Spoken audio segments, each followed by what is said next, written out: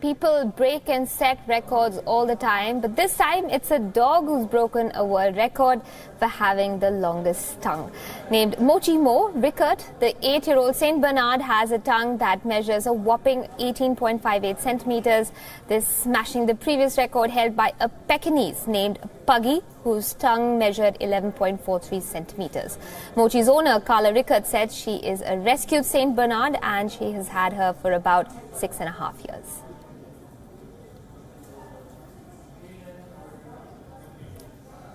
She loves peanut butter so much that today we used peanut butter to help encourage her to stick her tongue out as much as we could um, so she could show you the impressive length and how far she can lick up on her face.